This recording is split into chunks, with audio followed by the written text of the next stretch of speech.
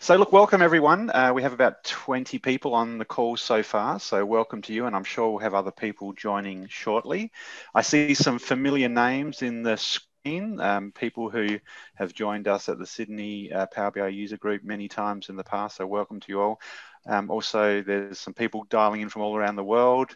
Um, I even see people. Uh, joined from Perth. Welcome, uh, welcome to you, Wyn.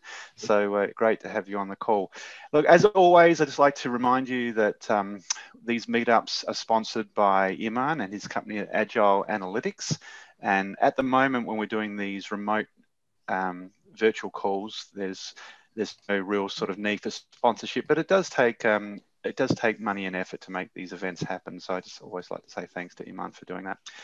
Um, so today we're absolutely pleased and excited to have um, the two musketeers, the Italians, Marco and Alberto, with us.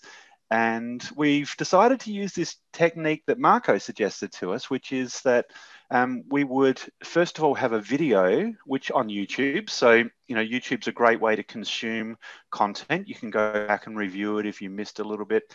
And so, so the objective of this call is to pre-watch the video and then come to the session with your questions. And then that way we can dedicate the time that we have together for answering the great questions that you will no doubt come up with. And, um, and so, yeah, so that's the format. So you should have already watched the, the budgeting video by Alberto. I watched it um, earlier on this afternoon.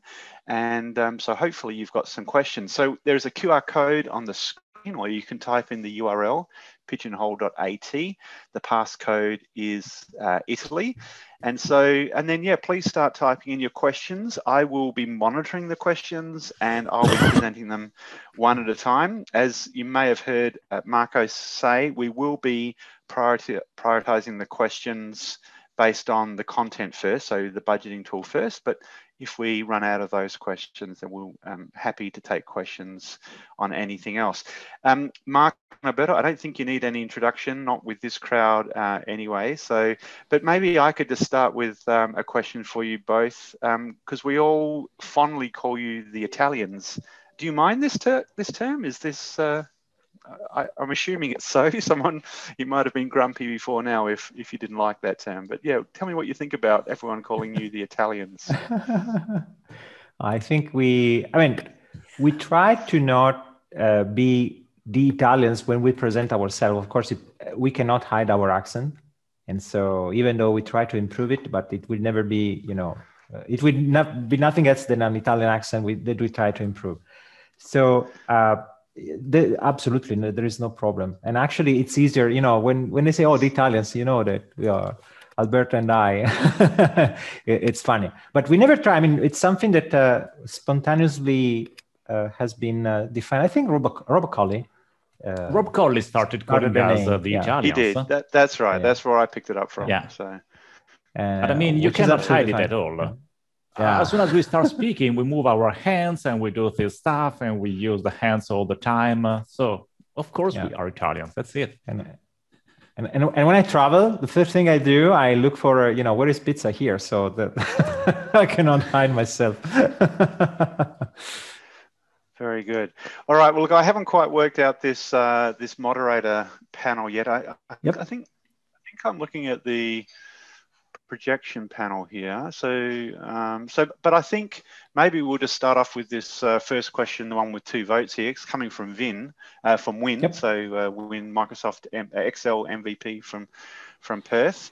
So, Wyn asks, can you discuss all blank rows versus all versus remove filters? So, Alberto, you you started off using the all function, and then you went back and and made some changes and things. So, can you talk to that for us, Alberto? Ah, yes it's kind of uh,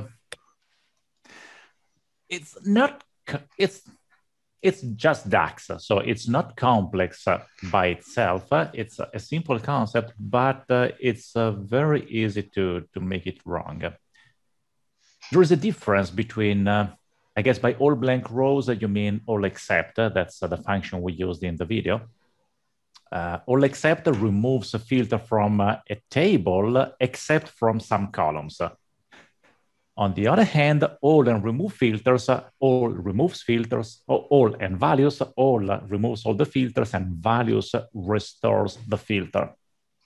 now understanding the difference is kind of um, intricate.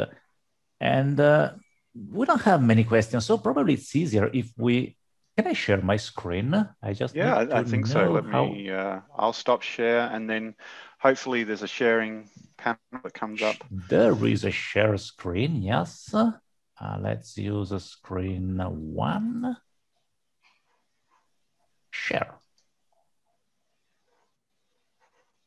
Do you see my screen now? Yeah, absolutely. Yes. Cool. Then I need to move this somewhere else. Okay, uh, just look at this report. I'm having here country region and then the brand. Let's say that I don't want the brand. Instead, I want another column from the customer table, which is the continent that I put here. So now I have uh, the continent and uh, the country. And the country is below the continent. So the continent contains uh, multiple countries which is wrong because uh, Germany is not in Asia. You you you mixed the country from uh, you, you mixed the columns from budget and Let customers. Me get so if from that. Yeah.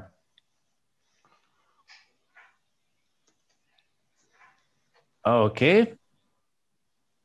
And then I don't want the, the budget. You want the sales. I want sales. Yeah, but I'm also thinking that this is not the, the best. Use the city instead of the, mean, the country. Yeah, instead, of the country, of country, use the city. No, the continent is fine. I don't think it's gonna change.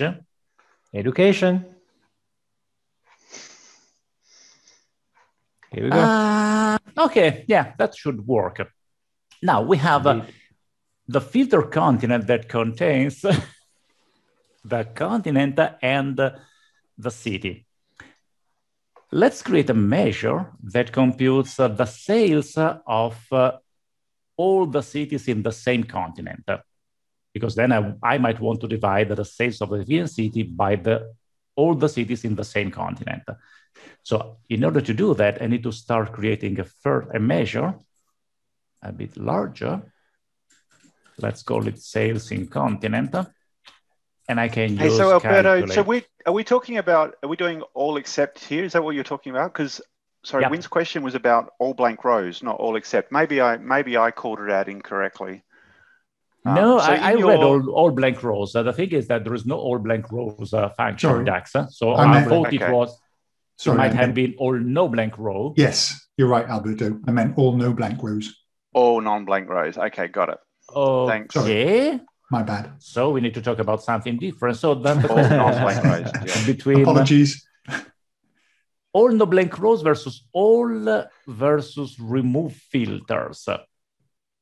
Yeah. I don't remember where we used it in the video, but uh, all no blank rows returns uh, all the rows of a column except the blank row. Now, the blank row is the special row that is created when you have an invalid relationship. So you have an invalid relationship and the engine creates a blank row to link all of the uh, all the rows that have an invalid code to the blank row. All no blank row does not return this row, whereas all returns it and remove filters. I don't remember. Marco, do you remember? So, so my recollection, um, Alberto, was it was to do when you created the when you materialized the monthly data table using a calculate table, and you tried to create the relationship, and it gave a circular yep. reference. And yep. then you went, so, and then you you referred to this blank row causing the issue because I actually had the, exactly the same question because I didn't understand how that resolves yep. the circular reference issue. Okay. Okay. Alberto, you want to okay. answer? In the meantime, I, I catch the link to the article where we explain this, Alberto. So I will post it in the chat window. Okay? okay, post it in the chat. No, I'm thinking whether we can explain that quickly here. Uh, but we can, yeah. I mean, let's say that we create table, uh, we create a new table.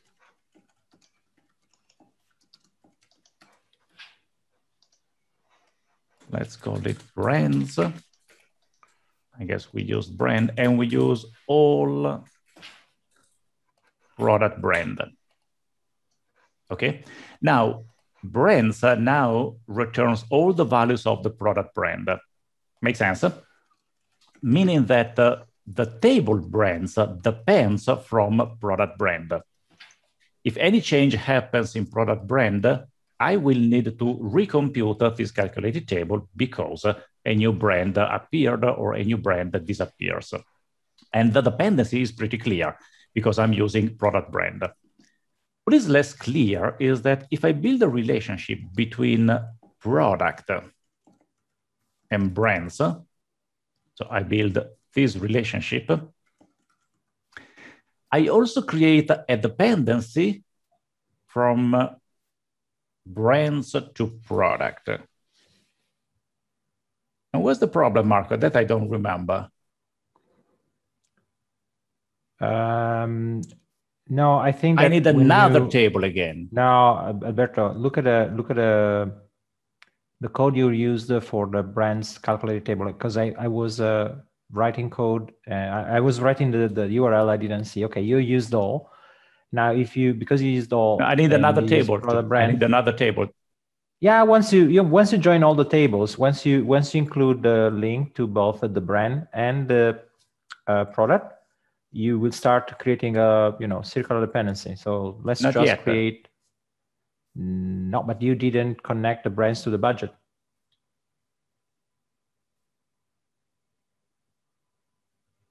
and then you have. I need another table. That's the thing. No, but the, but the problem is that you if you go back to the to the to the to the formula, you are just using a table here. We have to do the union between the, the values that come from the two tables, right? No. You're just using no, the product no, brand. I do need another table Marco. You, uh, Alberto, you, you have to include the the the the budget brand too, because the budget brand is where the blank all value product brand, come. all budget brand. Yep. And now you no? have a problem. Why not? Because that's a that's not a circular dependency. That was a duplicated values. Did they remove it? Okay. No, the problem is that we need another table because otherwise the dependency just flows in one direction. So budget depends on brand. Brand now depends on product and on budget, but neither budget nor brand depends on uh, brand. I need a table that depends. Uh, I need to make the circular dependency happen. And to do that, that you... I need another table. Okay, uh, uh, sorry, Alberto, if I stop you, but I think that we are going a little bit out of topic because probably in the you didn't show the circular dependency problem in the uh, video. We're just using a technique. You did? Yeah. So I don't remember. I know. I think so. So, so let me do that slowly. I, we need to create a circular dependency. Yep. I mean that's totally normal. We are not perfect, and I don't remember a lot of a lot of stuff. So let's call it brands and sales that uh, uses and add columns or all product brand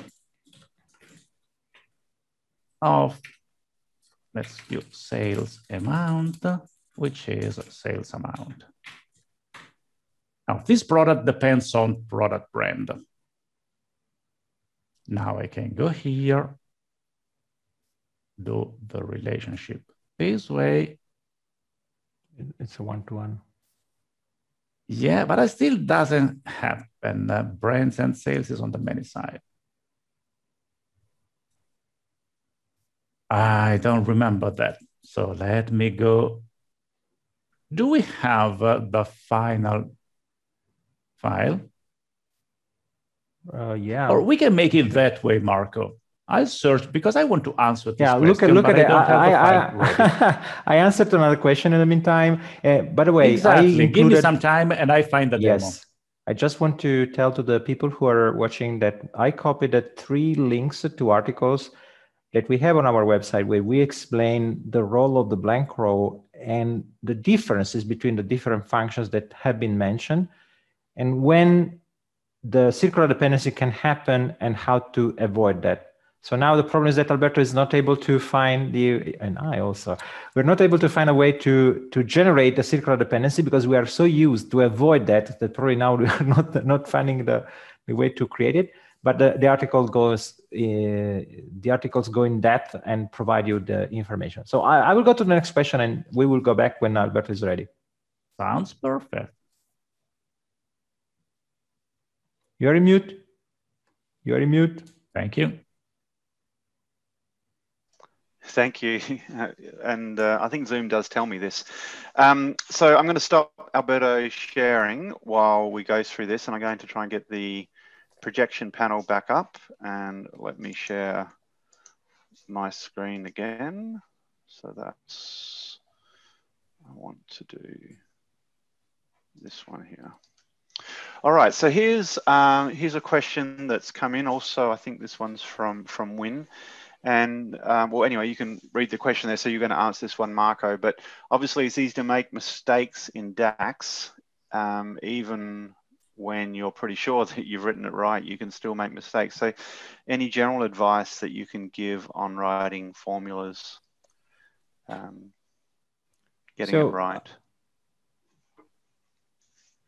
I try. I'm trying to understand the question because I think that the question is that if I have a formula which generates a value how can i be you know and the value seems good to me but how can i be sure that the value will be good also in other reports? Is this the question or something else? I think so. And when when you might want to just unmute yourself and clarify that but yeah that's that's, uh, that's sort of generally the idea. I guess with from the video itself it was a case of um, you know there, there was it looked like it was at the right level but then only when you think about it in terms of the next le- level of granularity then yep. it's not quite working right. Yep. So I guess it's just the, the the thought process rather than just physically checking every number, which I guess is one answer. Is there any other advice? That's or... a no, it's a very good question. So um, let me just give you uh, a sort of introduction to the idea that I've been a developer. I'm still a developer, but actually I'm no longer a developer for work. I just do this for hobby. Like writing module for DAX Studio, but the main thing I do today is something else. I work in data analytics, but my my education was about my education in IT was about writing code. And the first thing that you learn when you start writing programs is uh, the mentality, which is uh, what could go wrong, right? In order to when you write a program, you have to think what could go what could go wrong, right? And this is a different mindset from the mindset of people who are just looking at okay i have to solve a problem quickly once i solved it it's done i don't i no longer have to worry about it now when i'm using excel usually i write a formula that has to work just for that specific case. I, i'm not worried about what could happen if i try to reuse this formula in a different worksheet with a different set of filters with a different uh, table and so on. Now, when you write a formula in DAX, you are using a tool that enables you to express a, a function, right, as a sort of uh, an algorithm that could potentially work in any report of your data model. So you control the data model, but you cannot control the report. So unfortunately, I don't have a, you know, a secret to share here. The only thing that you can try to do is trying to look for the mindset that is also common to other um, uh, other professions, like you know people who are in security, people who are in uh, healthcare, people that who are in uh, you know evaluation of risk for working environments. They have the same mindset. What could go wrong? What could you do that break your algorithm or your formula?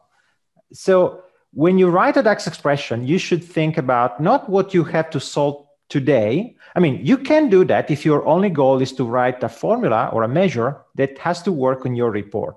But the moment you share the data set with someone else and someone else would create other reports, you have to think what could they do cr- crazy, right? What could they combine that could go wrong?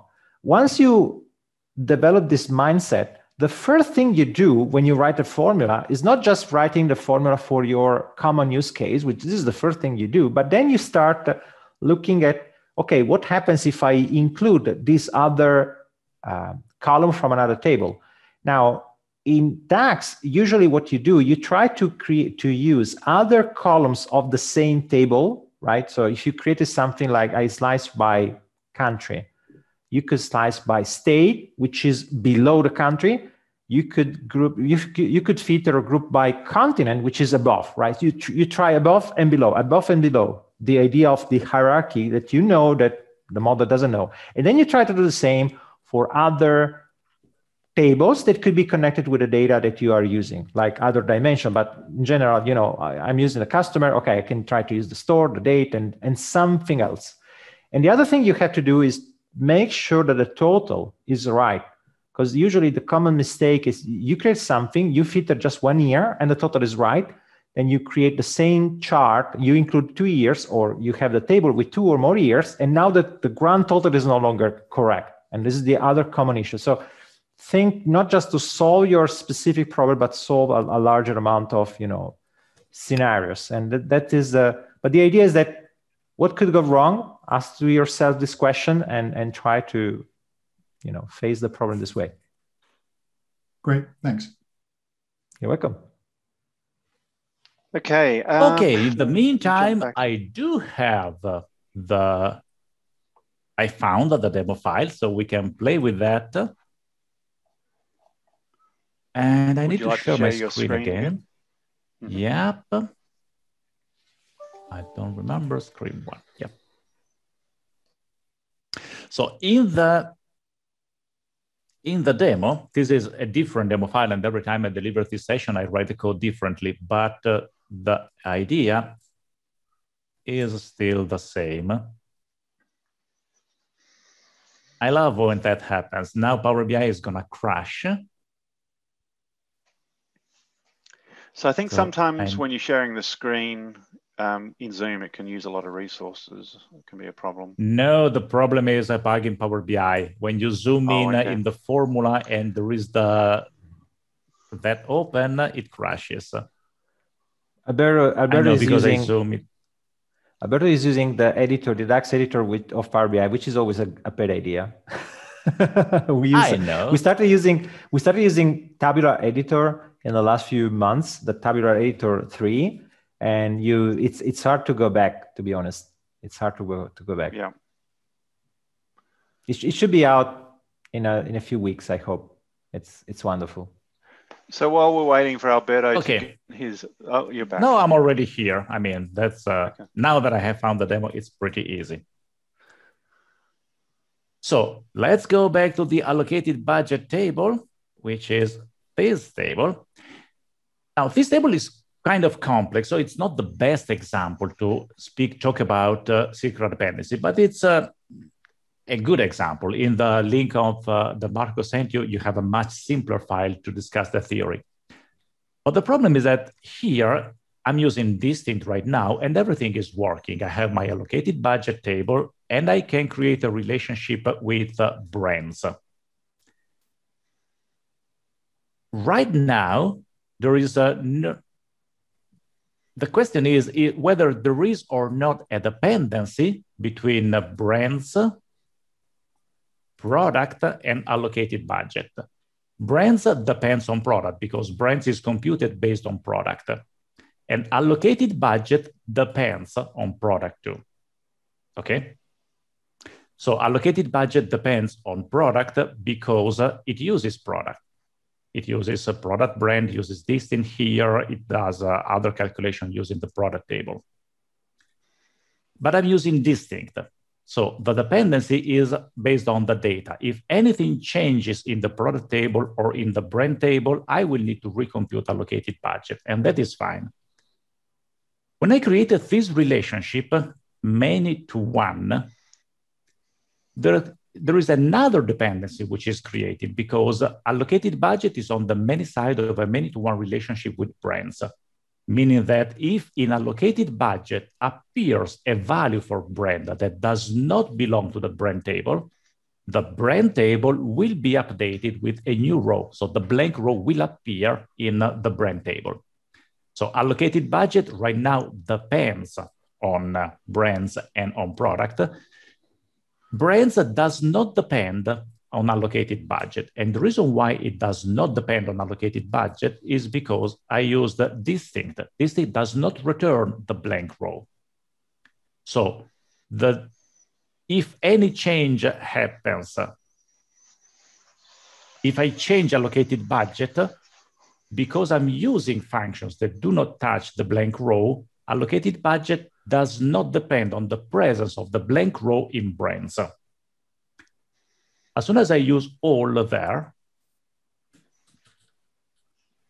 not on month number, but on uh, product brand. Product brand.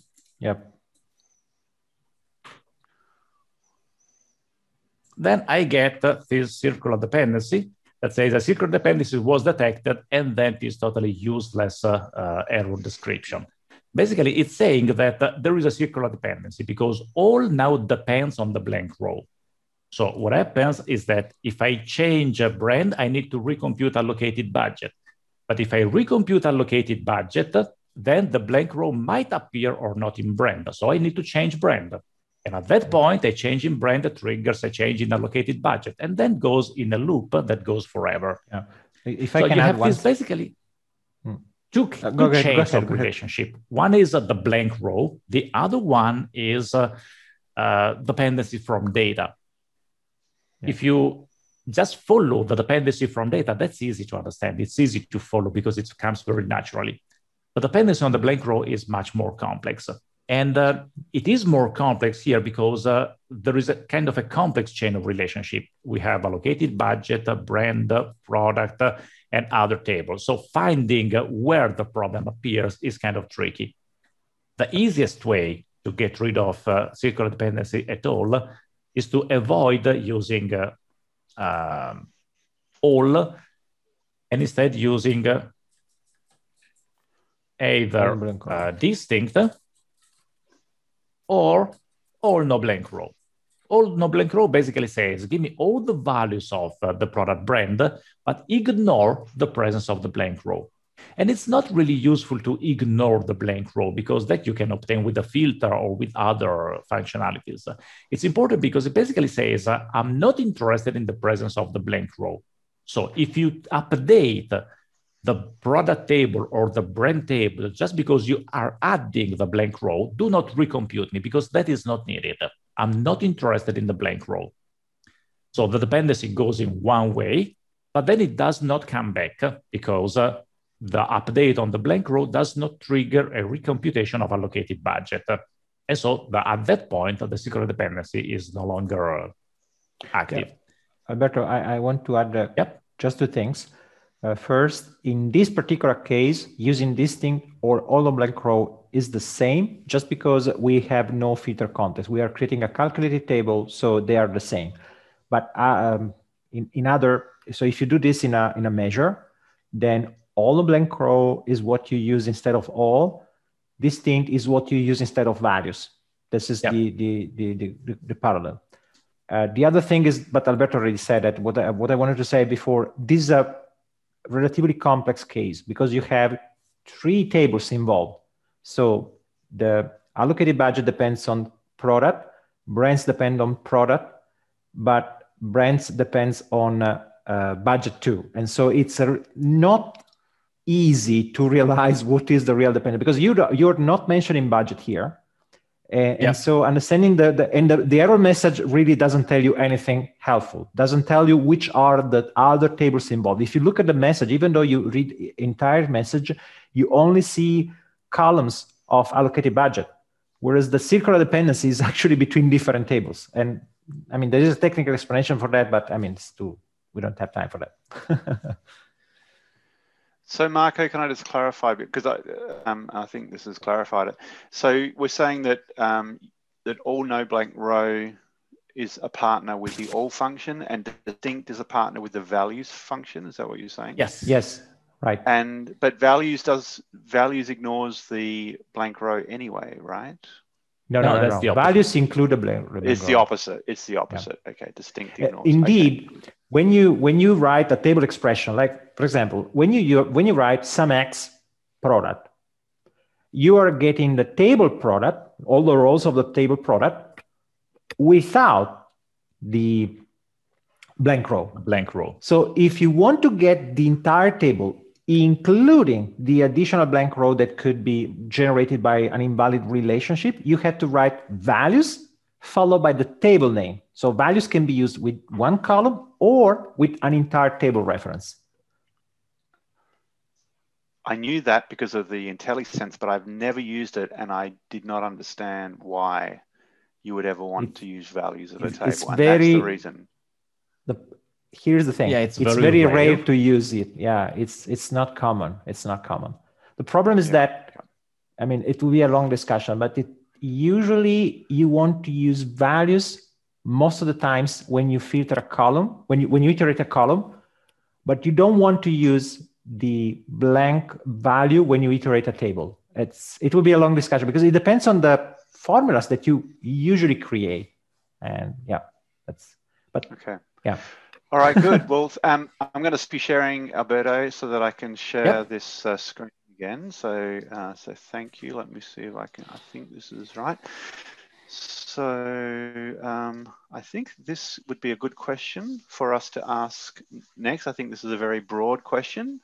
And so I'll leave it up to Marco and Alberto who to answer this question. And because I, I even like to put a bit of extra spin. So what's the best way to avoid many to many relationships? But maybe there's a broader question. Why should I? Why? I mean, it works. It's that yellow Yeah, warning message. I was mean, wondering why can't the I just same. a What's what's wrong with many-to-many relationships in Power BI? They they from my point of view, uh, yeah, can I? I mean, yeah, Yeah, yeah, can I just ahead. one one sec? Um, we have a lot of content about many-to-many relationship, and the suggestion I when when I teach in a class, I say, okay, guys, now that you have seen everything, do this. Whenever you have to create a bidirectional filter, a many-to-many relationship with a bidirectional filter or with a many-to-many, you have to justify it. So open your Outlook or whatever you use for the email, type to Marco, uh, why I'm writing this relation, and you have to explain me why you're doing that. If you're able to complete the, the, the email and you're convinced it is a good email, then just close it and go ahead. But if you're No, no, not send able it, to explain why, yeah, no, because saying okay, if you want to, you, you can also send it. But the idea is that if you have to explain why you have to use it, usually you find that you are not really able. It seems that you do that just because oh, because otherwise it doesn't work. Okay, this is not a good explanation. You have to provide a, a, a clear justification because you are going to use something that is expensive. You have to justify it, right? Uh, unless you're a billionaire and then you can do whatever you want with your money, that's fine. Yeah, but I mean, there are a lot of scenarios where many-to-many make sense. So it's uh, Indeed. there but are the scenario- scenarios where where you need it. But Yeah. actually, I think we are avoiding the question because uh, the, the question is how can I avoid it if I need to avoid it? So we can take for granted that uh, uh, Ilgar needs to get rid of many to many, maybe because of performance.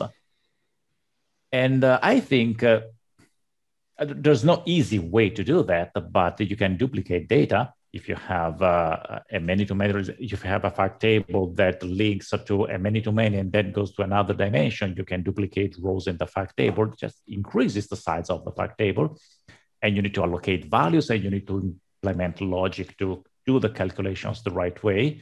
But if you need to get rid of many to many, that might be an option. At least that's what you do in star schemas where you don't want to use uh, many to many. Yeah, the proper data model is the best thing. The other thing maybe that we take for granted, but just don't enable the bidirectional filter by default in the model. Just enable it in the measure. We in the video we shown a very rare case where it is safe to use the bidirectional filter in the model. But actually, that bidirectional filter has the purpose of replacing a logic that we could obtain with a many-to-many relationship with a single direction. So let's clarify. When we say many-to-many, we can include two different kinds of relationship. One, rela- one case where we, we say, oh, many to many, is in reality the bidirectional filter on a regular relationship, one to many relationship. Don't do that and enable the bidirectional filter only in the measures where you want to use it, because otherwise you have um, bad side effects on any future calculation you will write. The second case is if you have a many to many cardinality relationship, which is what we use in the budgeting video at the end. With, with, so instead of using the brand column, the, the brand calculated table in the middle with the many one and one many with a bidirectional filter, we just have a single direction filter with a many to many cardinality relationship. And here is where I don't like Power BI. Power BI by default, when you create a many to many cardinality relationship, by default, it shows you uh, it, it, it, uh, the default value is bidirectional filter, which is wrong. 99% of the times, it's simply wrong. So don't enable the bidirectional filter. You probably want to transfer the filter from one table to another, not the other way around. So when you have a many-to-many cardinality relationship, assuming you have a good reason for that, just change the filter. It should be single, one way, and you have to make a decision what is the right direction. That, that's normally the, the, the dimension table filters fact table, right? That's the normal behavior. Yes, yeah, of course. Typically. Yeah, yeah. And so, and then the other thing, of course, is to make sure that your dimension table has a superset, a hundred percent set of all records that are in your fact table. Yeah. Otherwise, because of the, the blank record, the blank record won't get generated, and it will cause a problem that you won't True. see. Yeah, yeah, yeah, yeah. That's another. Yeah. Okay, good. Um, thank you, uh, Ilgar, for that question. So I'm going to jump over to uh, this question from Christian. It's had a few votes, and it's also directly related to the con to the content. So I'll let you read that question rather than me reading it out. Use the budget table without pivoting it first well, what we did in the budget table was to unpivot because the budget table contained three different scenarios, high, medium, low, or whatever we decided to call them. And you can use it without unpivoting the values in um, the values, but at that point you would have uh, three different columns, one with the low budget, one with the medium budget, and one with the high budget. And that means that uh, whenever you want to change the scenario, you need to change the column that you want to aggregate. Uh, so you end up building a lot of measures, one which is the allocated budget low, then the allocated budget medium, then the allocated budget high. By pivoting or unpivoting, uh, what you do is uh, basically you remove three columns and instead you place uh, three rows with three different values uh, for, uh, for one column and only one column containing the value. That means you can do just one measure and uh, using data, you choose uh, the scenario in an easier way. So the answer is yes, you could use the budget table without unpivoting, but uh, you would not have any benefit and you only have uh, drawbacks because you need to increase the number of calculations uh, in order to to drive your to choose the scenario that you need. That's a general advice. I mean even if you had the months instead of having the scenarios maybe you have a report that have different months column in all the different columns. And if you want to use that data you just unpivot it so that the month becomes uh, one value of a specific column and the table becomes uh, thinner and easier to handle uh, data driven Okay, thanks, Christian. Hopefully that answered uh, your question. I'm going to put this one up, so I'll let you read it. So what are your views on using Power Query or DAX to materialize extra rows in the allocated budget? Uh, what do you mean by extra rows? So, yeah, so um, Alberto created extra um, extra rows of data, right? Yeah, at some point we did the allocated budget table that was uh, materializing the ah, okay the the number of rows, uh, and yeah, the question is, uh, yeah, uh, well, I read it as whether it is better to do that with Power Query or with DAX. I I I I can answer from a so there are many point of views. So the simple answer to me is well, use whatever you are more comfortable with, because at the end, what is Yeah. what matters is the final result. Now, from a technical point of view, uh, DAX provides maybe the ability to make sure that you are always constantly updated. Whereas with Power Query, there is a small chance that you don't refresh the table, especially when you are in Power BI Desktop. You, you might choose to refresh a table, not another, and you might not be able to realize that you are not synchronized, right? Small chance, by the way. Um, the other problem with DAX, so this is a problem for Power Query. The problem with DAX is that if the table is large, you, you could have a, a memory issue because when you create a calculated table, the entire table has to be materialized in memory uncompressed before being compressed. Whereas in Power Query, there is a chance that with query folding, the table is materialized on SQL. And so the compression happens by segment and you don't have a high memory pressure on your Power desktop machine. But we're talking, uh, the problem is if you end up with millions of rows. So if you generate, you know, 1 million rows, probably you don't see the problem. When you generate 100 million rows, you certainly see the problem. And you could, you could see the difference. A calculate table with 100 million rows in DAX could be a problem because of the memory required when you process it. Yeah, that's very Okay, political. To me, a table with 100 million rows in DAX is a huge problem. It's not that it could be a problem. You, you need to make it small. Uh, But yeah, okay, but you know, But yeah, I think that the polite, best right? advice you, you did it at the beginning. Use whatever you are confident with. yep. As long as it Okay, works, great. Thank it's you. fine. Okay, I'm Ciao, guessing this is a bit of Italian at the front. Um, so a generic question this time from Roland. Um, What is the most of you like to difficult bit to master when it comes to DAX?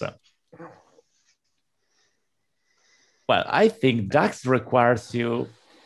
I, I don't know because uh, the thing is, uh, I learned DAX uh, probably too many years ago. So I take for granted that uh, a lot of concepts uh, are easy, whereas uh, they probably are not. But I think DAX requires you to change your mindset, to, to think at the code in a different way. It's a functional language, it's measure driven. And there is a beautiful podcast that Amir Netz did where he explains to me in a very clear way why DAX is so hard because uh, DAX is all based on the, the filter context. And this entirety of the filter context, uh, at the beginning, people do not uh, think about it, uh, do not consider it as the most important thing to, to learn. But once you master the row context, the filter context, second context transition, DAX is yours. There are no secrets in DAX. Yeah, go ahead, Mark. Can I You add one word? Whenever. The so I- think that the problem is also that the, the, the difficulty of this question it depends also on the people who is learning DAX. Um, clearly, for people who comes from an Excel background, the problem could be that it seems something that is close to Excel at the beginning, but it actually is very different. The, the, the model behind is very different. And what Alberto said for those you know people is is enough. But the the the hidden problem is for the people who already has experience with other environments or languages. If you know sql if you know programming languages if you know mdx you might be in trouble. What bugs people is that they found you know the comment from someone who never wrote a complex you know programming language or a complex formula. So Excel does not allow you to write something that is, you know, uh, 100 lines of code, right? It, it's physically hard to write 100 lines of code in a formula in Excel. I'm not saying it's impossible. It's just not easy. Um, in DAX, it happens. Uh, you could have a formula which is long just because if you split it in several steps, at the end you still have a long, you know, a long script. And people who come from a different, you know, a more technical background find it much more difficult than whatever they learned before. What is the problem in that case? They try, like everybody does, um, myself included. We try at the beginning, when we learn something, we try to relate something new to something we already know, which works well for many programming languages because at the end, you change the syntax, but the structure is always the same. If you know Italian and you have to learn Spanish, is relatively simple. They are close. Uh, if you know Italian and you have to learn English, is a little bit more difficult, but certain parts of the structure of the sentence are still the same. If you have to learn Chinese, then it's a completely different word because it's a completely different language. Now, DAX has elements that are hard to find in other languages, which means that you have to be prepared to a big jump because at a certain point you have to stop finding the similarity between the concept in DAX and something you already know. I can provide you an example for the row context. I have no idea about an example to say, oh, the filter context is like this. I don't know what this is in any other environment. It's something new that you have to learn from scratch. And this is something difficult because people are not prepared to that. What I say when I start my, uh, when, when I teach a class, I say, what do you know? What do you know? Do you know? Okay, that's fine. Forget everything forget everything because if you try to match what i'm going to say with something you know you're going to fail because it's not the same it's different and this difference is what will create problems so try to be prepared to some, to learn something new in this uh, in this in this course um, I'd like to just add a little bit to this as well because it's one of my favorite topics, Yeah. and I totally agree with everything that you've both said, and that it depends on whether you come from a SQL background or from an Excel background. And I, I see this in my training all the time that these two groups of people, these two cohorts, learn in a different way. And I have a theory as to why this is the case. Now, in for for a SQL professional, they're coming from a scripted language world and they're encouraged to go into a script editor and to type a piece of the puzzle, exactly the way you see Alberto do it in so many demonstrations where he opens up DAX Studio and he starts and he writes a simple table, give me a list of all the brands, and then give me, you know, add a column to that that has the total sales in it. And you're starting from the inside out and you're encouraged to do that using a scripting tool to write the code and you end up with this monster. And I often use um, the, the code that you guys write in my training. I say, look at this formula. Now, do you think that Alberto started at the first line, evaluate, and then started writing the second line and then the third line? No, that's not how he does it. He starts in the center and he writes this piece and then he grows from the inside out, wrapping pieces around it. And he probably doesn't even know how to debug that code without going back to the center and working his way out again, right? Yeah. So now my the point I'm making is that the SQL people, people that are used to that scripting engine, have that structure presented to them. So they have to learn to do it that way. Now, the Excel people, it's completely different. The Excel people are on a spreadsheet canvas with individual cells, and they're encouraged to write pieces of a formula in one cell. And then when they write a formula, they see the answer, then they copy it down, and then they see the answer, and then they put a subtotal, and then they see the answer, and then they multiply it, and they see the answer. And so, in a way, the spreadsheet is giving them that structure to think through their problem as opposed to the scripting tool, which is the tool that SQL people. And in my view, that's why the Excel people struggle so much to make this, this leap. And the best way they can they can make progress is to, and, and I now completely teach completely different the way I used to. I encourage people to go and do a calculated column. Go and create a, a, a table using all and see, look at it, see what happens, then go and put it back inside your measure. Because now you can conceptualize that all is producing a table that contains all the distinct values in a column. That concept for an Excel person is actually quite difficult because if they can't see it on the screen, they can't wrap their head around it. This, this is my experience with it. Um, Yeah. It's a general. Ve- Very, very, very good interesting. point. Very good point. Yeah. Okay, great question. Um, thank you. You like the um, Italian cop? Yeah, very good. Italian. All right, so let me, I've got so many screens happening here. Um, I did, ha- I'm going to ask, put this one up, oops, uh, this one here. This is actually from Iman. And um, now what happened? what's going on here. Oh, Iman, I'm sorry. I think I accidentally dismissed the question. The question was, um, any tips on visuals? What type, any custom visuals or good visual tools to use when you're doing budgeting and planning? That's what the question was, but I think so, I accidentally. Especially when you want I, to write batch and do some planning and. So. I, I can I can answer to this because I, this is a for, for a number of reasons something I, I investigated recently. The let's start from the problem. The problem is that let's say Power BI doesn't have good standard visualizations if you have, you know, balance sheet or profit and loss statement, right? So this is just the, the starting point, right? There is no way to, to easily display this data, assuming you have a good data model for that. Now, uh, there are companies out there that created custom visualizations that try to approach this problem. I think there are several custom visuals today one common one is Zebra BI, which has uh, you know something in the middle between something for the profit and loss statement and uh, I don't remember the, the the name, the acronym, but there is a standard uh, that is, is is is made to create visualizations for for the data for financial data, and they implemented this standard too. There are other companies that have that are be, that have been doing the same.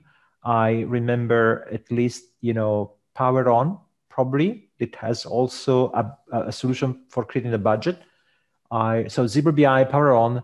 There is another company who will launch a new visualization in the next in May when there is the MBAS. Uh, so I, I, think they are sponsor and they will show that. Uh, and and I don't remember if there is another one. So I I don't have enough experience to, to tell you which one is best, but certainly you have to look for a custom visual of one of these uh, relatively large companies. I mean, relatively because they are large compared to the ecosystem of the visual custom visuals in Power BI. Because otherwise, if you open the marketplace, there are hundreds of custom.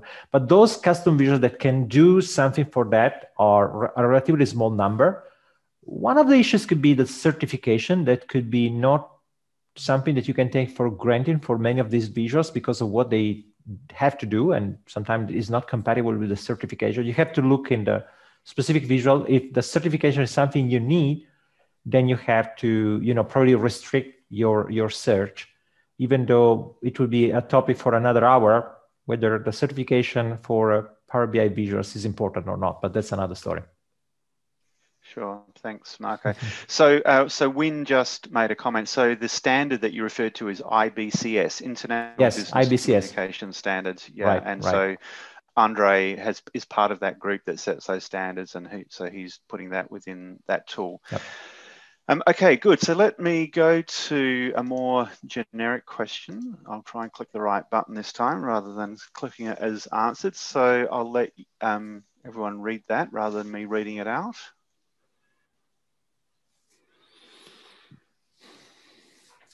Uh, Alberto, you want to answer, or I have a? uh, I'm scared because uh, if you start to answer, this is never gonna end because no, you will no, go no. into the tiny no, no, no, details. no. I promise. I promise. I promise. If you I promise, promise. you make I- it short. Then I promise. ahead. That's all yours. I make it short. Uh,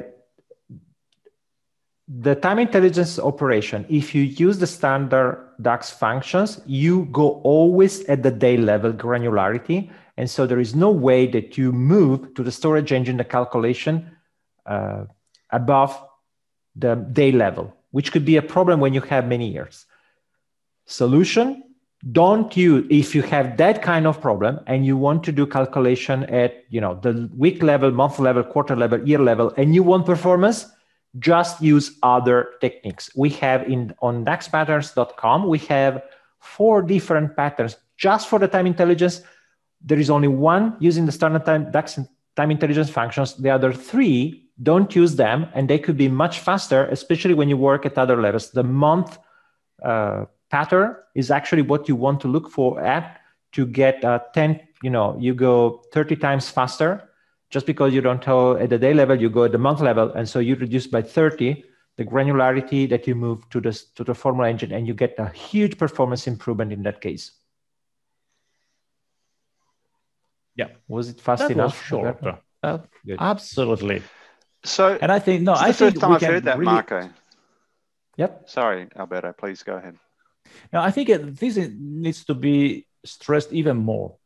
A lot of people use time intelligence and use data at the day level when they don't actually need it at all.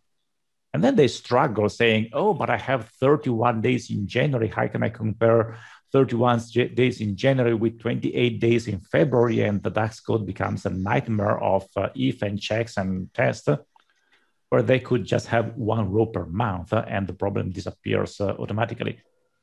So if you are searching for performance, uh, removing rows and reducing granularity is by far the best thing that you can do in your model. That solves most of the issues. Okay. So, Mark, I just wanted to ask a following a follow-up question clarification. So, when you're using the inbuilt time intelligence functions, you're not able to leverage the storage engine as much because of the day level of granularity. And by writing a custom function, say just using uh, the year column of your calendar table, you will automatically get improved performance um, orders of Yes. magnitude. Wow, that's great to know. the, the order of Um, magnitude is because you reduce the, the, the volume. of- So sometimes you cannot see the difference because the query was fast the same. But if you measure the difference that you have at the storage engine level at the formula engine level, you go from, you know, five, 10 milliseconds to maybe 200, 300 milliseconds. Now, when you touch the seconds area, you, you, you see the difference.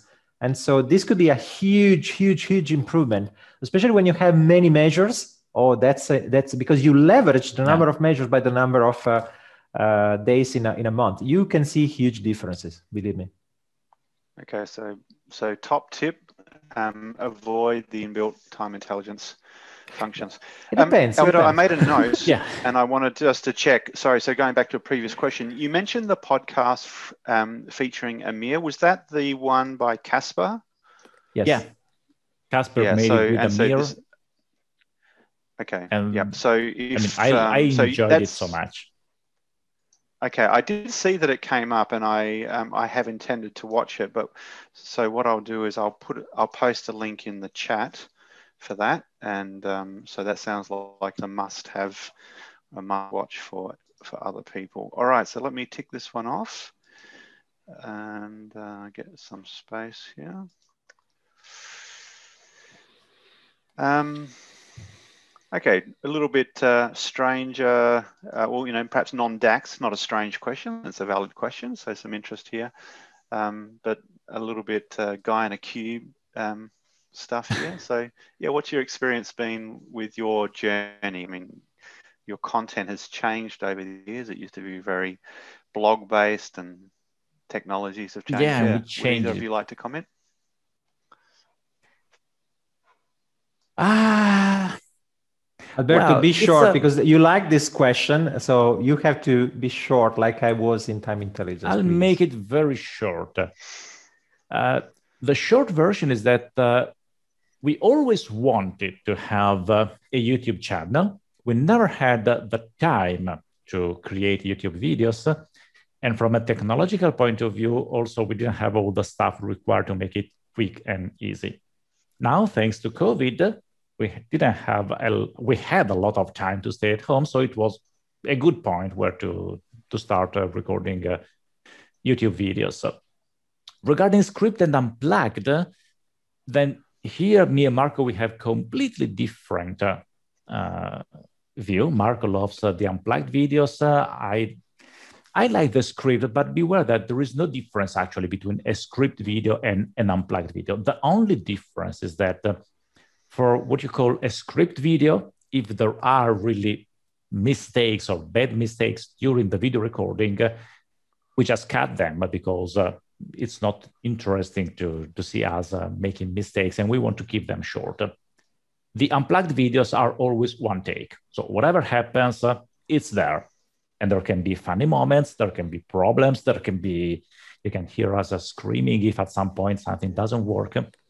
So that's the, the main difference between a script and an unplugged video. And actually, to be honest, nearly nothing is scripted. We always start from uh, the problem, we describe it, uh, we know where we are going, but there's no there's no clear script of the video. What you see is exactly. We mentioned Alberto also that when you do your demos, you often write different versions of the formula, right? You're actually just you're literally just redoing it on the fly, rather yeah. than following some some script as such. Yeah, that's a problem of mine. If you ask me to write twice of the same formula, I wouldn't be able to remember that. So uh, I needed to retype it again and rethink it again. Yeah, but that highlights a very important process because people have asked about DAX and how they become good at DAX, and and so what you, what your statement just highlighted is the importance of learning the process, not the importance of learning a formula. Right? You have to yeah. learn the process to write the formula. The final formula doesn't matter as long as it's performant, of course. Um, can I just ask another question on that? So, do you guys do your own video editing, or do you have someone to do that for you? Uh, no, we do everything uh, at home right now, mainly because I like a lot to do this stuff. So I enjoy doing uh, video editing and all uh, the other steps. We might decide to use video editors in the future because uh, right now we are not traveling, so we have a lot of time. But as soon as I want yeah. to, I want to just because uh, not all of the videos we have are, you know, self-made all the videos in our training as of today are recorded with a professional staff. And also some of the videos we publish on uh, YouTube at the beginning were recorded that way because we had not much time. And so we, we, we used the time, the recording time for courses also to produce videos for YouTube. Yeah. Then of course with the pandemic, this changed a little bit. And so we had more time to, to work on the back, you know, on the back office work for producing the videos but we are not i mean personally i don't spend too much time on editing even though also myself had to you know start to be introduced in those uh, tools but it's not i mean i'm not engaged as much as alberto in this stuff for example yeah it's definitely not your cup of tea but it's mine so i like it yeah and that always happens so whenever you see something produced by me and marco we always work together the one does what the other doesn't like. And I think this is the, the strength of uh, uh, we working together. Makes sense. And I work on my own, and so I don't have anyone to give the work I don't like to, and so it just doesn't get done. I only do the stuff that I like doing. Okay, good. Um, look, I'm going to ask, put this one up from uh, from Kane. I think uh, I think Kane might work for um, Iman. Um, and there was a question, there was a comment, Kane. I'm not sure whether you're able to unmute yourself and just clarify this because I think your comment said you meant to say enabling bidirectional filters. I'm just not 100% sure uh, what that means. Are you are you there and able to unmute yourself, Kane? Yeah, yeah, that's what I meant. Applying um, bidirectional filters with a uh, with a with a calculation group. So should you have them on or off? Is that what you're asking? Or? Uh, no, just if, just around uh, any benefits. Um, you know, obviously we were talking before about um, it not being a good idea to enable them in the model, but to do it in, in DAX and calculations, and then you know, calculation yeah. groups another way that you could do it. So technically, I, I can answer to this this way. Technically, we can use calculation groups to change the active relationship using user relationship. So it's, it, it's a nice way to, you know, if you have several dates in a table, you can switch between, you know, order date, delivery date, due date, just with a slicer, right? Because the slicer is the calculation item. You can do the same for the bidirectional filter if you want. You could uh, change the direction of the propagation using the cross filter. So technically, there is nothing wrong doing that. And I think it's relatively easy to implement. My problem today with the calculation groups in general, and in particular for this kind of uh, application, is that the consumption experience we have in Power BI is uh, not ideal.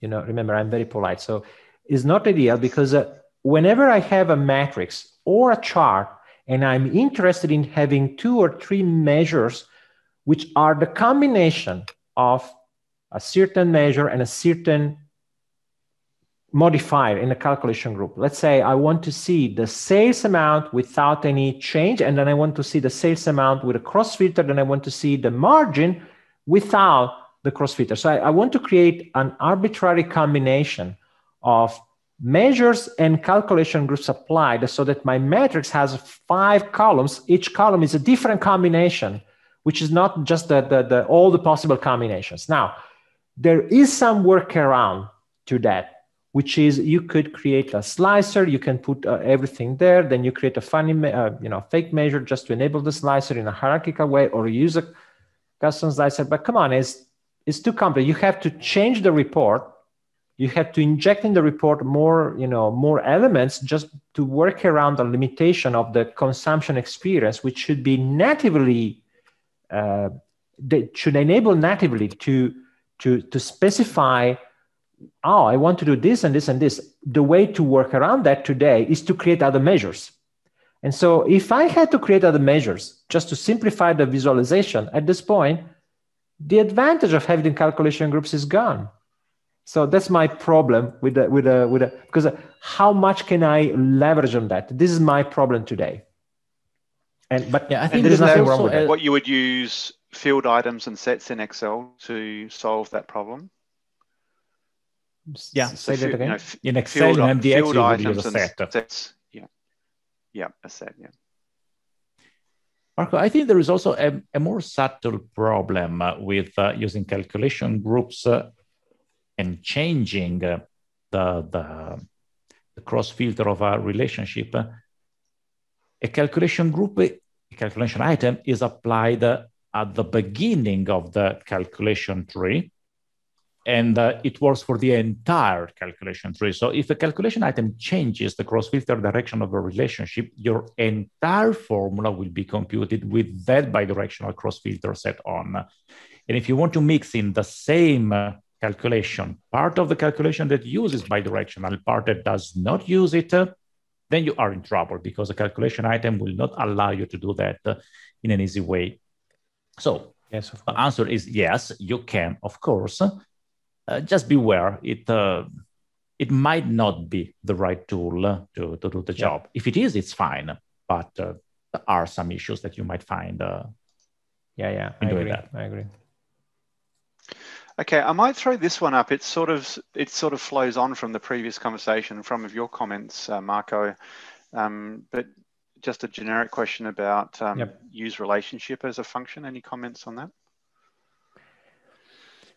Use relationship is a function that enables an inactive relationship. So the question is, why should you have an inactive relationship in your model?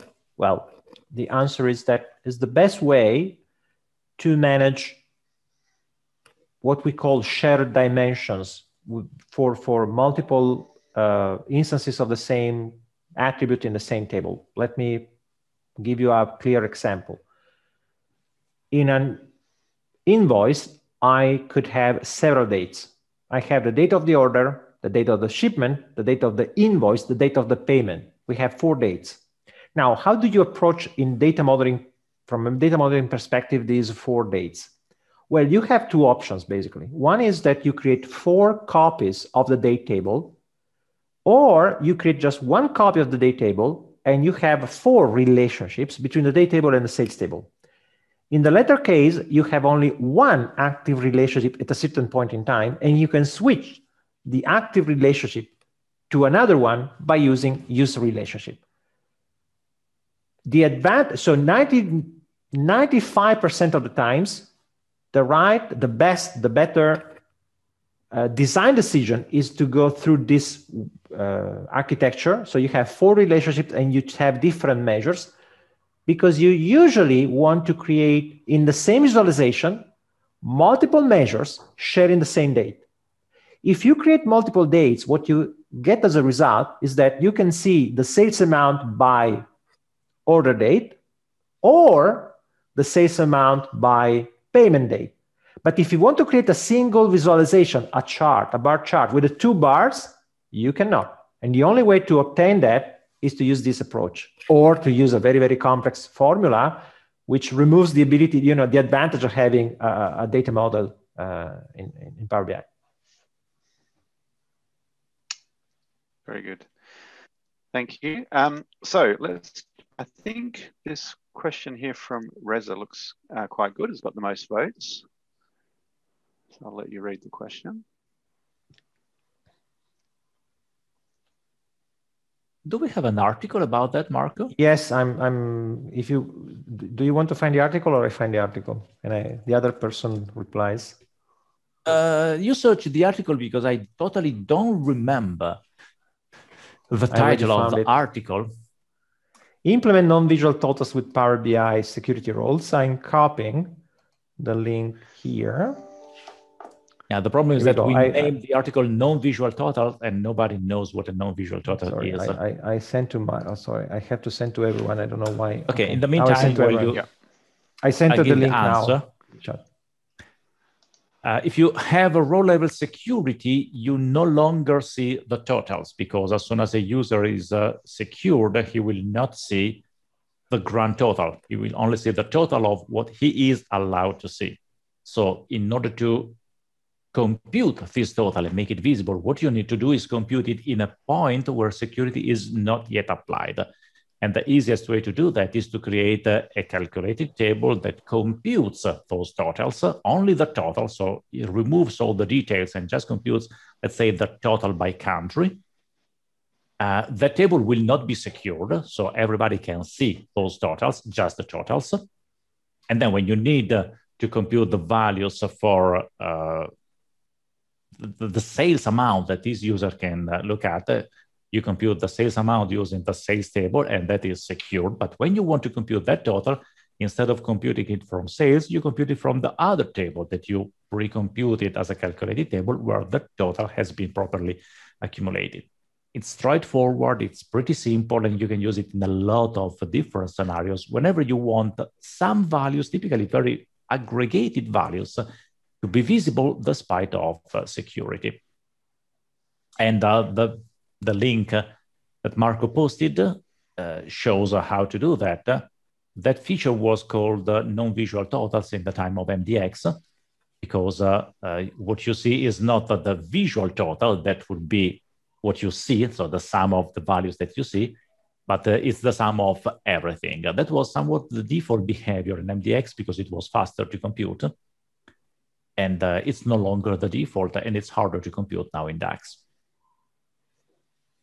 And maybe that's a use case for a many-to-many relationship if you're doing a, um, a higher grain total, which then needs to be joined back to a dimension. So if you've got a sales rep table, for example, and you want to yeah. compute the percentage of the state, you might end up joining a many-to-many relationship of your summarized state table um, using the techniques we talked about before. Yeah, that makes sense.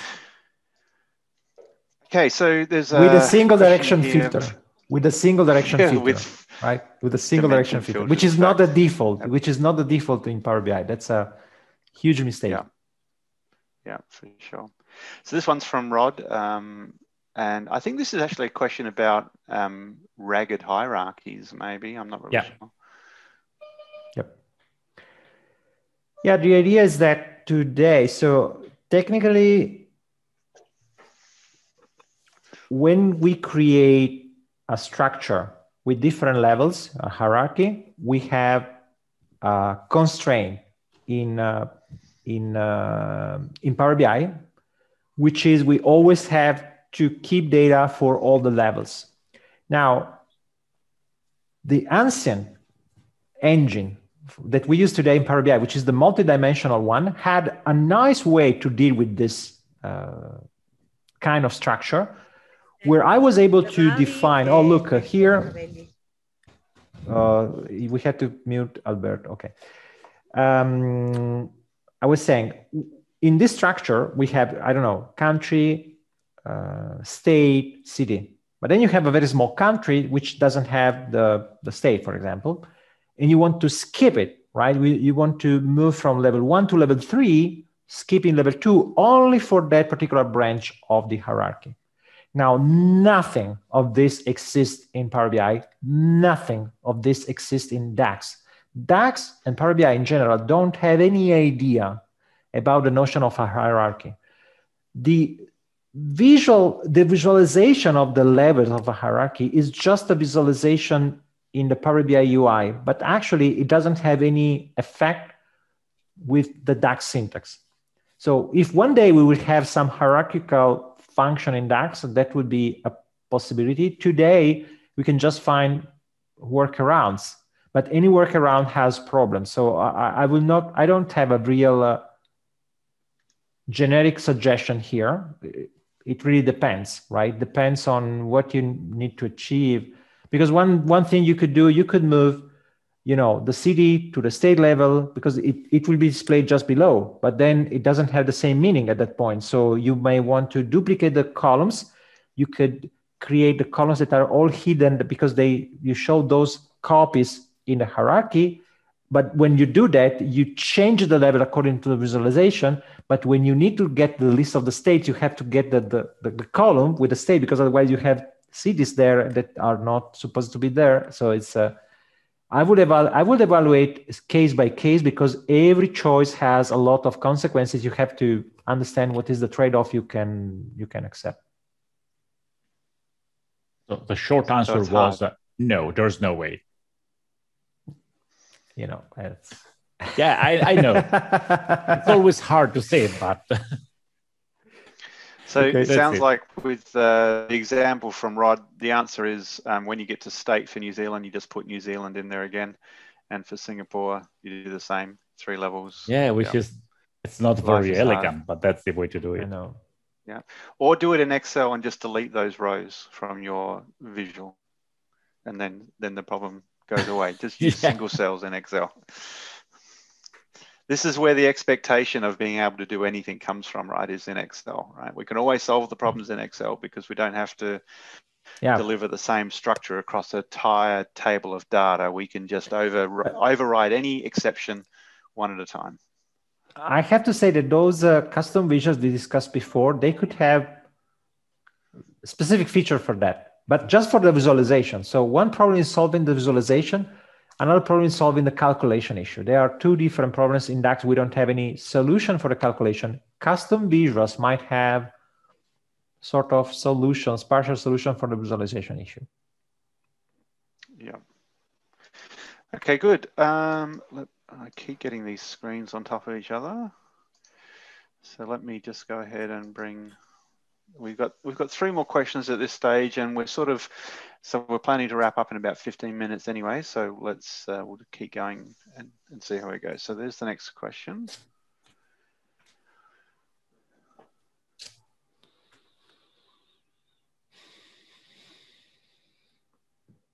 Well, it depends. I don't know, Alberto, if you it's it's a question about where you want to store the the budget. Yeah. But what I'm wondering, I mean, if you have the data already in Excel, why converting it to CSV to host the file somewhere? You can no, just I... put it on OneDrive or put it on uh, any SharePoint. Any SharePoint or OneDrive, connect uh, direct, directly to the Excel file, read data from there. I see no value in converting to a CSV because CSV is not safer than Excel it's not better. It has no advantages at all. Maybe there could be a... there could be an, an, yeah, another problem, which is not the format, not the, the file format, but the way you put the data in Excel. So the way you put the data in Excel could be not a table that is easy to read in uh, Power BI. So if you have a structure which is easy to read for a human but not for a computer, then you yeah you have to. But you can do this in Excel. You could have a hidden worksheet where you prepare the data in the format you would like to import in, uh, in Power BI. That, that could be, you also have in Excel, you have Power Query. So you could do this in Power Query. You could, you, you can have, but if you have a simple table in Excel, it just works. There is no reason to, to duplicate it. Okay, great. Thank you. So um, I like this question. Um, be interested to hear responses. How do we analyze the actions of the dimension table? If you do not have a dimension table, create a dimension table. Yeah, I mean, which is it's which is uh, exactly what, what Alberto did. Yeah, what Alberto did is exactly this because he created a table with the brands, but he didn't have a, a, table with the brands. You could do the same, right? Because you have something from the ERP, something from your budget table, but you have some attributes, some column that can define how you want to join the data. And it is exactly what you can find in the example. Just try to convert the, the, the example that we prepared in the video with something that matches your, your structure, but you will just have different names, so the structure is, should be the same. So this is star schema everything. Create the dimension table. Don't try and do a many-to-many relationship between your oh, budget oh, yeah. table and your no, actual table. Yeah. Create That's the dimension table, get the one-to-many up, yes. do it properly. Star schema, all the things. We keep on repeating that all the time. We, we published yesterday an article and a video about that. We, it's you know we are flooded by comments, and the, the the the video is about the performance, right? And many people are happy because they finally have something to show to other people who say, no, no, this is low, so we had to go with a flat, you know, we, we need a single flat fat table and, and that's it. But the reality is that the star schema, yes, is fast, but the real reason to use the star schema, it solves, it forces you to solve uh, um, data modeling issues that makes the model and the measures easier to write and easier to use. You don't do that, you just delay the problem of solving certain ambiguities at the moment when you write the report.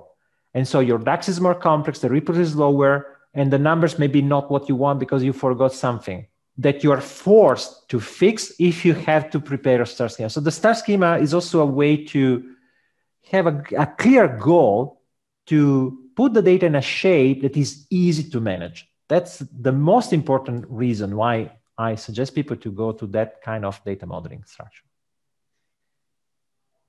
Thank you. I, I, I mean, we, everyone in this space um, is familiar with this topic, and I, I early on thought that a star schema was the most efficient, and it's only more recently, and I watched the video that you referred to that Alberto did. I watched that this afternoon as well, and confirmed that actually, in many cases, the flat table is faster and so I think the key, I don't want to give away the punchline, Alberto, but the key takeaway was yes, the flat table can be faster, but when it is, it's only a little bit faster.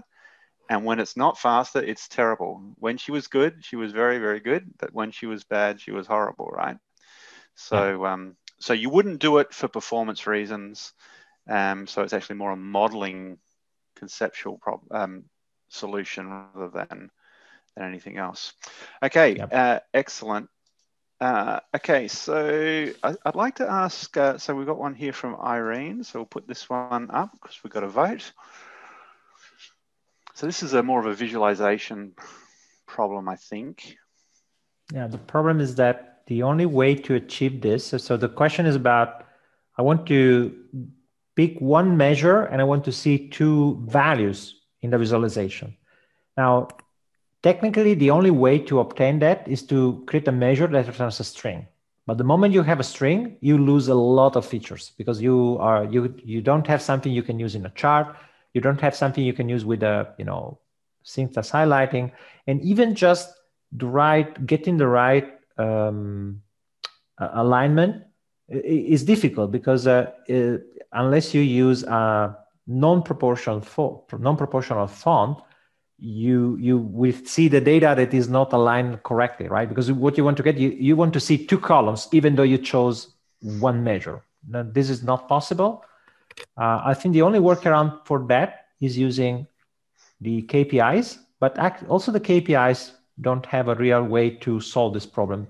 Even though technically you could use, but you always have to pick two elements because you always have to pick two elements of the KPI and bring them into the matrix, uh, creating at the end two columns. So I, I, don't I don't think is a real solution. So probably no. I think that's one for ideas.powerbi.com. Perhaps search for. An existing idea. It's always better to vote for one that's got lots of votes already than to create a yeah. hundred different ideas with one vote. So go to ideas.powerbi.com and search for that one because I, I understand the problem and uh, these things will get solved only if they get attention with the development team.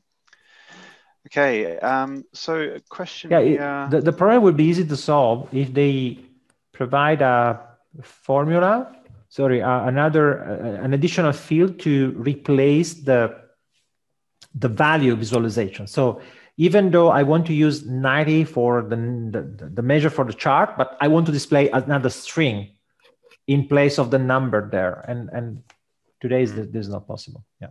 Like an alternative display string, yeah, which is still calculated. Okay, we'll, we'll tell them to phone Mark when they when they want to do that development uh, opportunity. Yeah. All right. So how about this one?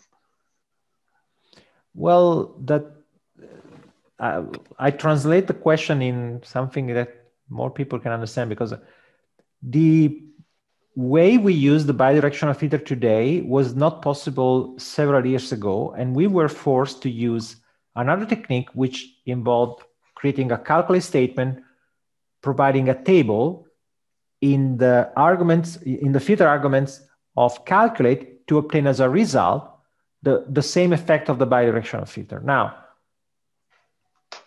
I would say that most of the times the bidirectional filter is faster.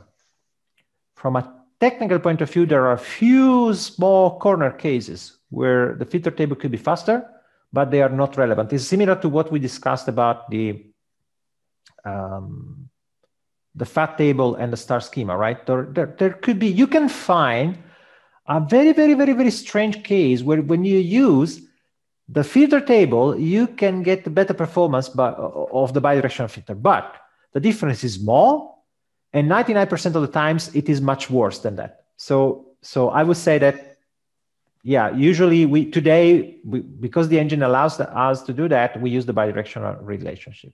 The only thing to consider from a, from from if you look at the, the results, not at the performance, there is an important difference. When you look at the grand total, where you have no filters, when you have no filters, the bidirectional filter is not applied, right? And when you apply the filter table, the bidirectional filter is always applied also in the grand total, which is a big cost in terms of performance, but sometimes is what you want. So there are a few cases where you actually want the result of that, now, there are other ways to obtain the same result also with the bidirectional filter, but you still have to write some DAX code. So that, that, there is a difference also in the result that you have to be aware of. But usually 99% of the time, you want to use the bidirectional relationship, yes. So it sounds like black magic might be dead. It's over. No. no, okay, very good. We've got one last question here, and that takes us pretty much to right on time. We couldn't have uh, scripted that any better. So a question wins. I'll let you read the question. How big is big? I think is the question, right? Depends on yeah. the money you have. Depends. the more the money, the larger the number. Easy. Well, so not that. If you have a lot of money, you build a hundred dimension, then. ah, you you can anyway. you can uh, you can always throw the money out of the window easily. Yeah, I know, but in general, for the you know regular humans here, which have uh, regular laptops and so on, I would say that a dimension with above one million rows uh, is always a dimension that could pro- could put you in trouble. Today, I would raise the number to two four million rows in most of the cases because uh, you know a few years ago, one million rows was always a problem Today, it depends. It could be two, it could be four, it could be five, ten. But usually, when you go above one, you start to see the performance issue. Maybe it is not something that you can be worried about for your reports, but it's something you might want to consider. For the fact table, actually, up to 100, 200 million rows usually is not a big deal. But more than that, you have to start worrying about compression, segments, partitions, time to refresh, and also performance in the queries. Alberto, do you agree, or you will provide? You will, yeah. you will put another. No, I think the other consideration is how many tables are too many, and uh, there's not a clear number here. You you cannot say that uh, 10 tables is good and 100 tables is bad, even though 10 tables is good and 100 tables is bad. I think the best advice uh, is that uh, the model will be used by users. So if you create too many tables, uh, a user will spend more time searching for the column to use than use it in the report. If on the other hand, you create just five, 10 different tables, then usability is much better. So I would go around five, 10, maybe 15 dimensions, but 15 is already large. Five, 10 dimension looks uh, more usable. And for the fact tables, uh, how many, as many as you need. There you do not have, uh, because dimension is on fact tables is where you just have numbers that need to be aggregated. But for sure, if you have uh, 50 dimensions, uh, that's a serious problem because users will not be able to browse a model with 50 dimensions. There are just too many. And it's likely. If I can, yeah, if ahead. I can add something to what Alberto is saying, it, it's clear that to, I have seen many Power BI reports we have that have uh, 60, 100 tables. And it's not wrong from a certain point of view because you actually have those different entities, right? But the problem is that when you when you look carefully about why you have all those dimensions, you realize that many of these dimensions are there, many of these tables are there because oh because I had these tables in the data source. But yeah. you could apply That's transformation right. so that you can consolidate many of these uh, tables in dimensions that represent business entities. I have seen too many times um, sort of snowflake schema where you actually had offices and then you had the country you had you had you know five or six tables that were created just because you had you know a hierarchy described in several tables and they have been imported all together and there was also justification for that oh because this table is connected to this level this other fact table is connected to this other this other dimension to another level but again, you end up when you go, so when we say, once you approach the dimensional modeling, you learn that there is the star schema and the snowflake schema. Now, the snowflake schema is a variation of the star schema, which seems a good idea for to solve certain problems, but it can quickly become a nightmare to manage where, because it, it makes your model much more complex, right? You could, still, you could still control it, but for Power BI, the performance of the snowflake schema is lower than the star schema, and the star schema is better from many other point of views. And because we have now the many-to-many cardinality relationship, we can solve the problem of the granularity of the connection between the dimension and the fact table, even though they are not the same granularity. So at the end, if you spend time trying to figure out what are my business entities, and you describe the data model in terms of the reports you want to create and not in terms of, oh, this is the data I have, you will simplify the model a lot. You will make the life easier to the user and you will also improve the performance of the reports. Very wise words, I'm sure. Okay, look, we're right at the top of the hour, and I so I'd like to wrap up here. Um, so thank you, um, Alberto and Marco. It's actually been a pleasure to have you available for a chat. So this is sort of almost like one of those unplugged sessions. There's lots of um, questions that have come through in a variety of topics. And um, so I appreciate your time. I'm glad we'll be able to accommodate you at a good time of the day for you, and particularly Alberto, because Marco tells me that you tend not to get up very early Alberto, is that true? yeah, he's right. yeah. So uh, so great. So um, Iman, any um, any final words from you um, before we wrap? Um, just a reminder that our next meetup will be 12th of May. Uh, Peter Myers will present about uh, real-time reporting in Power BI. So we will announce it hopefully very soon. Thanks. And any update on the reactor availability for Sydney? Not yet. No, I'm going to check again next week. So, so we're, we're going for the record, the sixth month in a row when we said next month we're going to go back to face to face. So we'll see how we go. So, uh, so okay, thank you, gentlemen. Now there's a few links that we talked about. Um, so maybe I will dig out those links and include them in the uh, in the meetup.com session. And um, and Marco, there was one thing that you mentioned that I don't have the links for, and that was the time intelligence. You said you wrote three or four articles on time intelligence efficiency yes, using. I can copy on immediately. Dax if you could, Yeah, yeah, yeah. if you could send me those, that would be great, and then I'll include I- those for for the benefit of everyone. Okay, thanks I'm everyone for joining. copying. Have a good rest of the evening. Thank, Thank you. you. You two Thank guys you. have a good bye. day. Christian, Bye. you have a good day as well. Okay.